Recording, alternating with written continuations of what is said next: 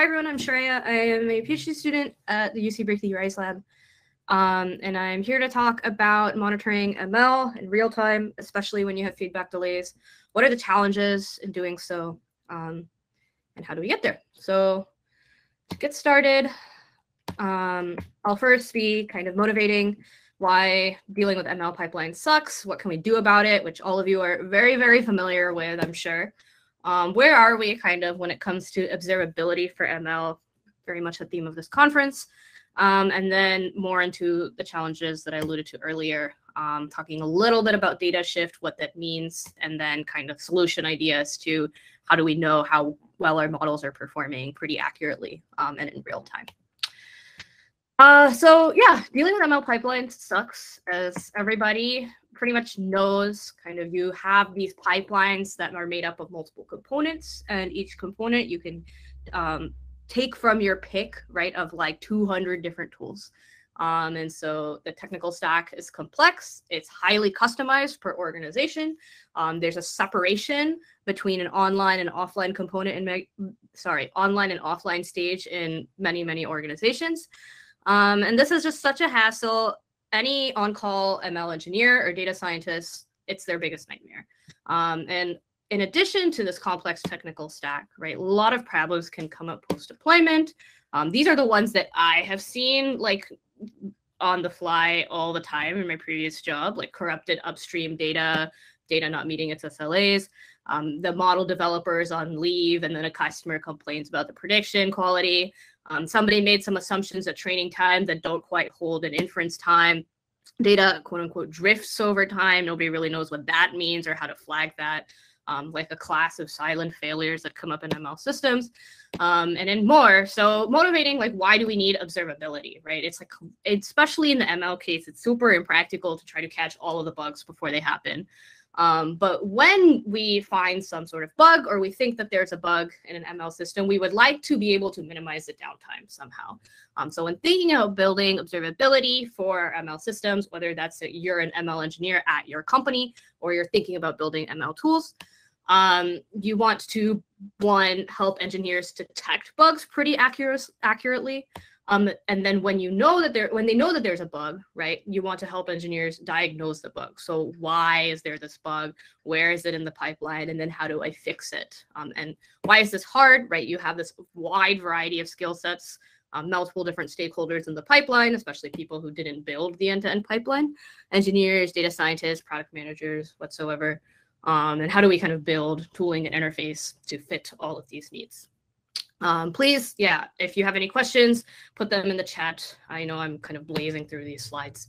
Um, so, so what is the current state of affairs kind of looking like? And I, I'm sitting there happily divorced in my PhD land in academia. So I, am sure you guys are more up to date for what's going on.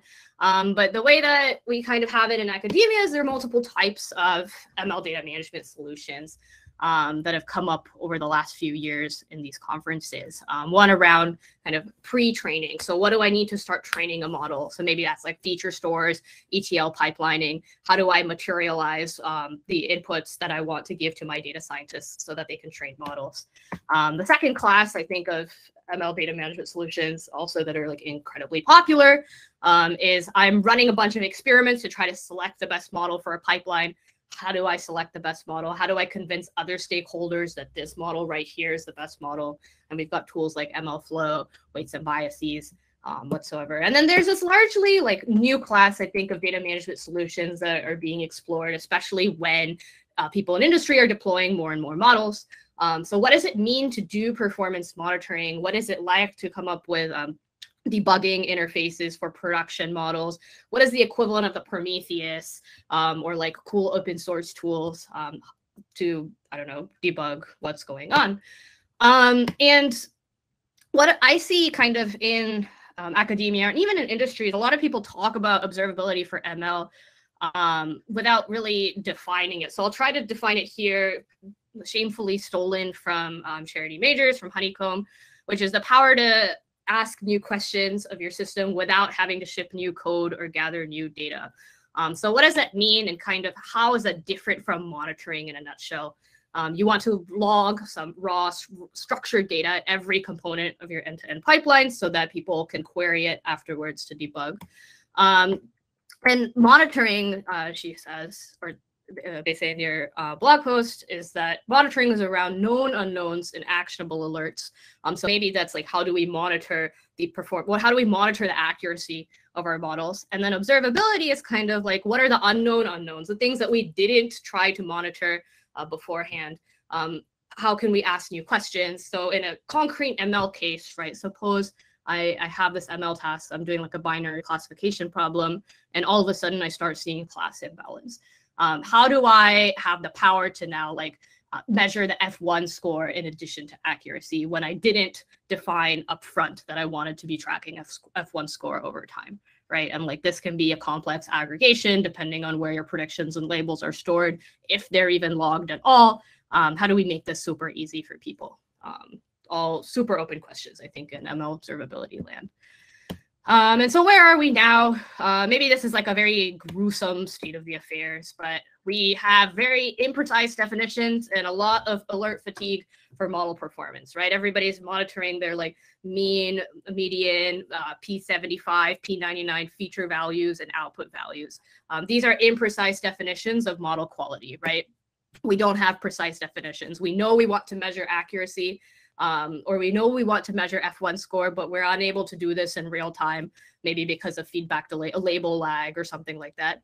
Um, and we want some observability system to tell us accurately, oh, when do we retrain our models or when something is broken, right? Like when I was at my previous company and I was monitoring uh, the P99 for every single out uh, feature value, um, I would get alerts all the time, and this was completely unnecessary. Uh, and I never listened to them, right? So how do we kind of reduce that fatigue? Um, and interface wise, right? Like we we have all these beautiful dashboards, right, of like hundreds of graphs. If we want to see our feature values over time, we want to see our KL divergences over time. That's amazing and great. But at the end of the day, are they actionable? Don't really know. Um, do we even look at end to end? Do we and one single person kind of look at the entire end-to-end data pipeline, which has the ML transformation in it, um, and see kind of what's going on. Uh, very few organizations that I've talked to, I definitely did not have this at my previous company. Um, and then, of course, like the post hoc ability to query um, and aggregate like, structured logs, right, of what's going on in the pipeline. Um, we we didn't have this. Um, Prometheus is a like great example of thinking about like what does it mean to query post hoc uh, for um, things that metrics that we care about. Um, so in defining a North Star, at least like my my research thinks a lot about this, um, and I'm sure like lots of companies are also working on this, of course. Um, we want some sort of like we, we want the user to both have high flexibility as well as abstract away all the data management, the nitty gritty data management for them. Um, so maybe that's like allowing them to have custom um, Python based metric definitions, uh, like a custom loss function or something that they want to track in real time. And we also maybe can have a library of predefined Python-based metric definitions. Um, we also need to account for the fact that predictions are made separately from labels um, or feedback. And maybe these are in two different streams or two different tables or whatnot. But the point is that a lot of these metrics defined in this first bullet point require some joins over multiple streams, right? Um, and we need to do this, especially when there's a lag um, in between the predictions being generated and the labels coming in. Um, automatic logging of raw events throughout a pipeline, right? Again, like because the tech stack is like pretty complex and diverse. Uh, how do we make like I don't know a tool? how do we make a tool that interoperate is uh, interoperable with the uh, highly customizable end to end? Um, and then, of course, the last thing is how do you have some sort of querying interface for our, for the logs? Um, and I have like a pretty uh, verbose SQL query here, which maybe I shouldn't have included, but something like I want to see um, all of my metric names and values um, for the past month. I don't know.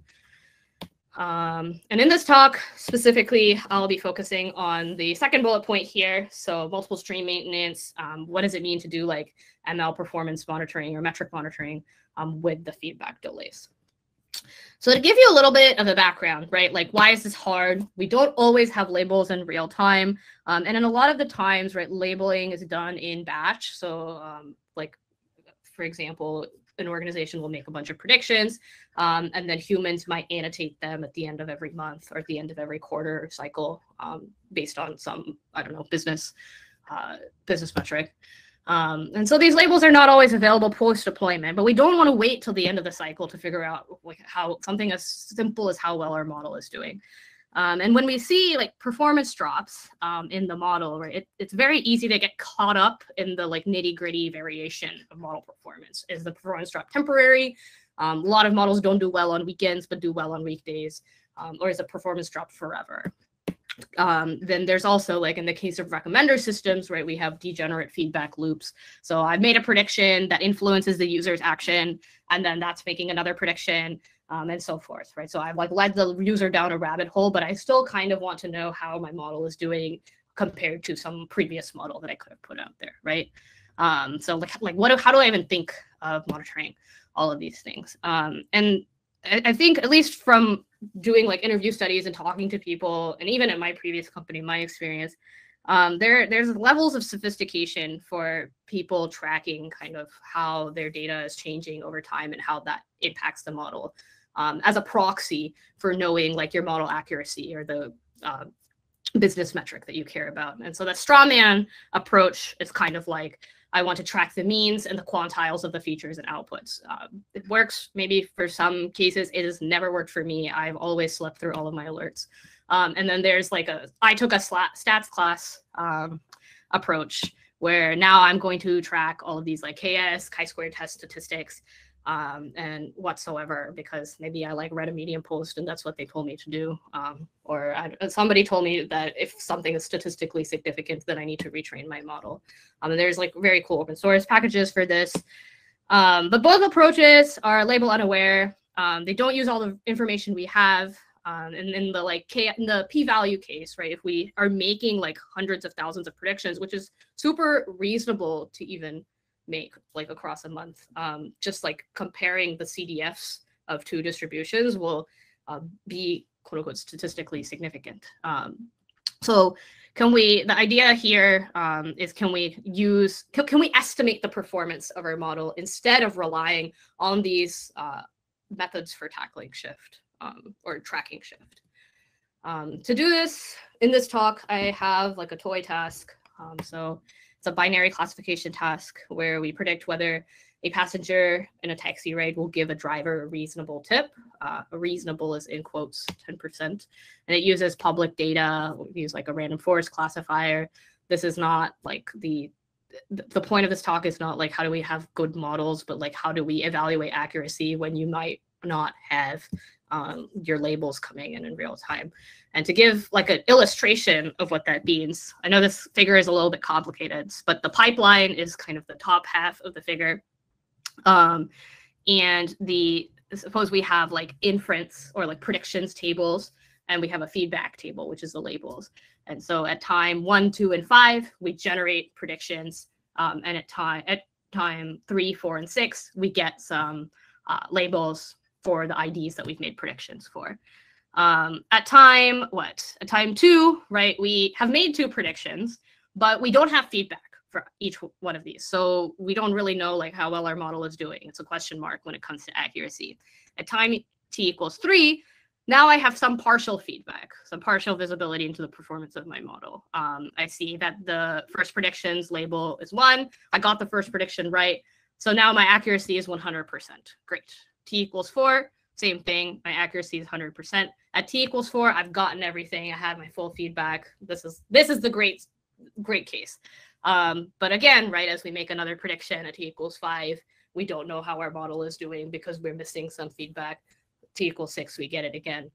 Um, but the point is, like, once we make the three predictions, the first three predictions, as soon as we make a prediction, we would like to know how well or estimate how well our model is doing right? Um, so maybe we can react to that. And this is such a contrived example. In a lot of cases, you can have like weeks to months of lag, like credit card fraud, for example. Um, you can have months of delays for your feedback, right? So how do you um, how do we estimate something in the question marks here, or even in the partial feedback case? How do we create a tighter estimate of the accuracy? Um, I'm going to actually skip these slides. Um, actually, no, no, I'll go through them um, as a small tangent, but I have a separate side hobby of uh, trying to convince people that the terminology of the data shift is not quite what we care about.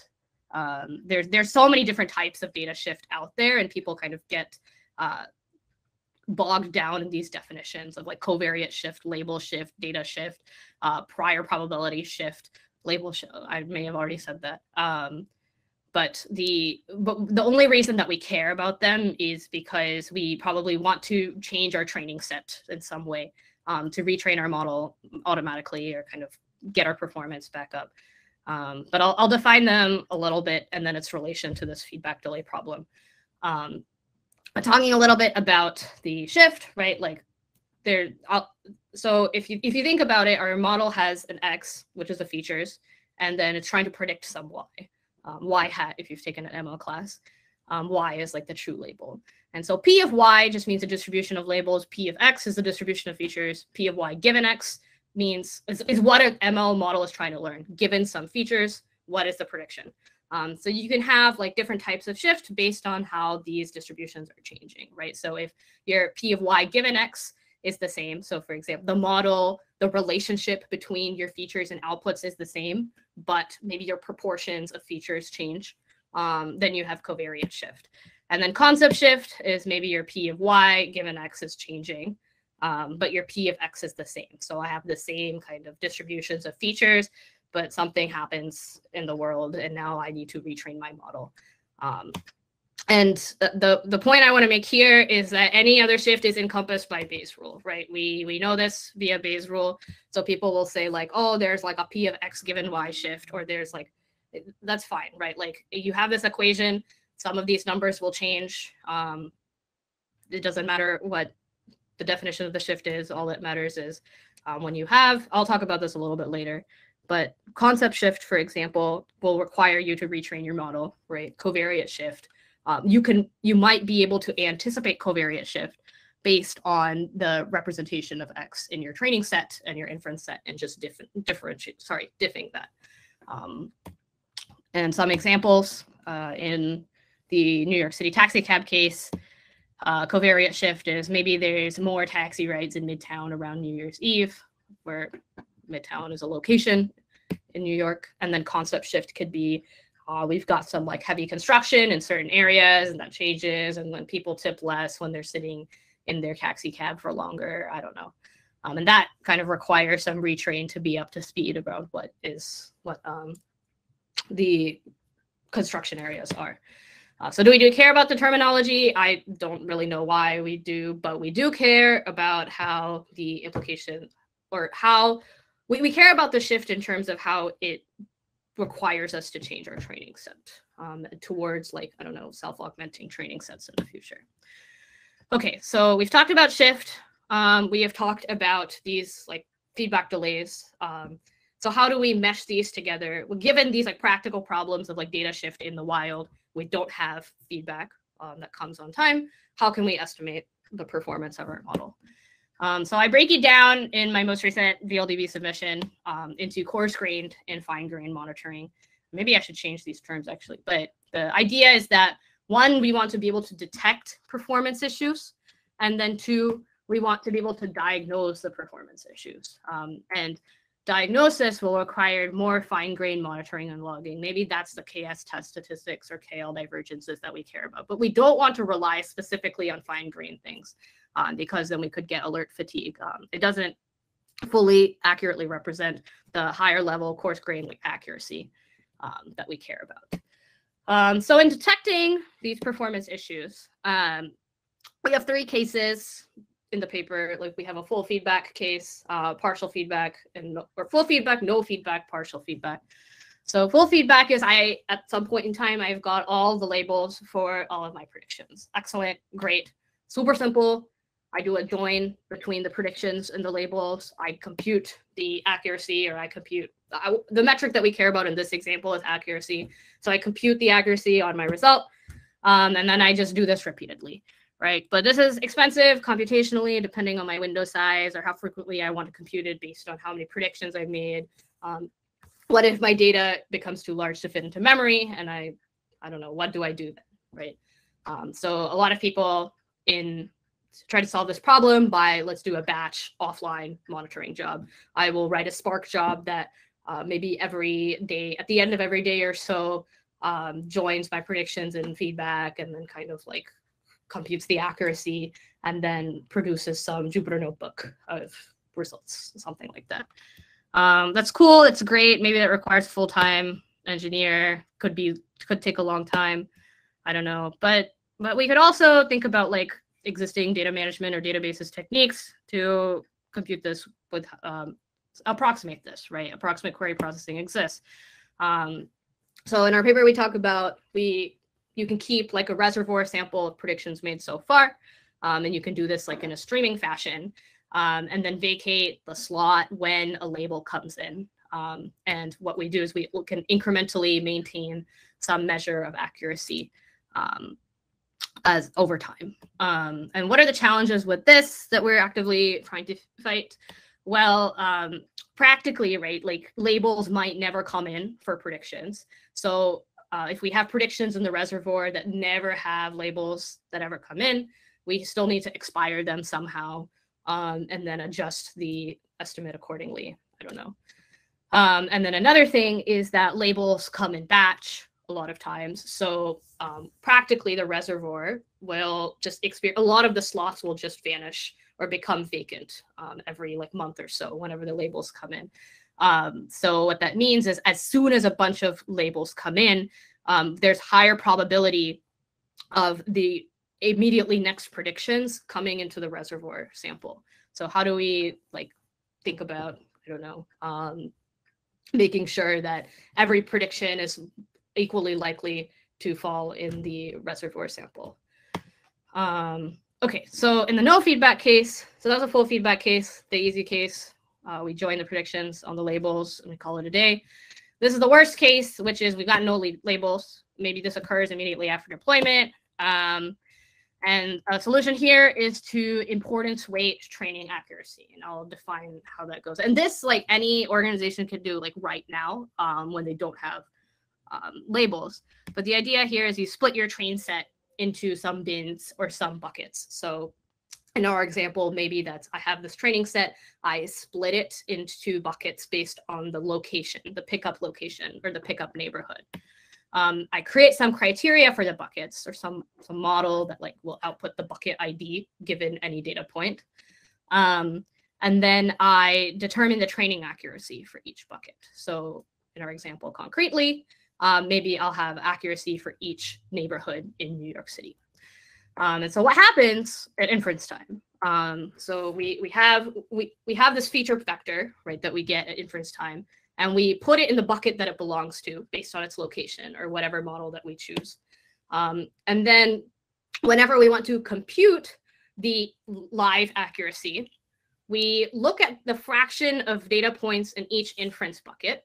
We multiply that by the training accuracy, and then we add that all up. So an example, suppose we have buckets FIDI in Midtown, they have accuracies of 80% and 50%. Cool. After deployment, we see 100 FIDI rides and 500 Midtown rides. Okay, so doing the importance weighting, we know we can multiply 80% by a 500 by 100 and then 50% by 500. Um, and then I do I guess I did not do this correctly because I should have divided it by the total number of rides, not 500. So I should have divided by 600. But anyways, not super embarrassing. But you can get a sense of the, how to do the estimated accuracy here. Um, you, again, weight each training accuracy by its representation at inference time um, to come up with an estimate. And so we did some experiments to kind of see how well this method did. Like suppose you never have any labels. Um, the first, the plot on the left, um, you see kind of like the inference, the histogram of locations at inference time versus in the training set.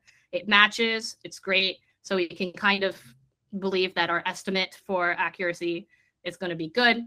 Um, but as the data shifts, as you can see on the right, um, so we look at April 2020 versus January 2020, um, the representation changes, right? And so maybe our my our representation, or sorry, maybe our importance weighted estimate won't be as accurate as we think it'll be. And so when we actually plot it um, here over time, so the important the, the blue line is the importance weighted estimate based on location.